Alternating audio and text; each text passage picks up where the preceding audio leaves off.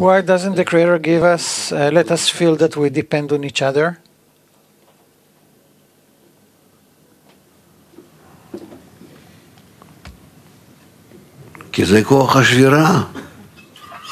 Because that's a force of the shattering. You need to correct that specifically.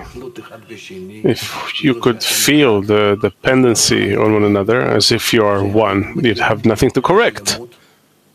How would you come to know wholeness, this concept of one, which is the creator? You need to get to know him, and to know him, you can do only from a thing and its opposite.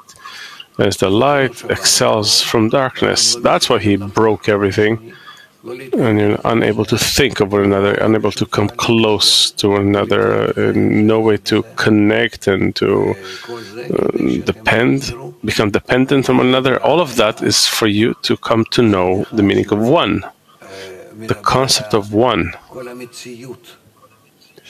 where he talks about all reality, which is in total one we attain it from the shattering of the system. Then we come close to one another. We begin to build, like from blocks, a little construction together.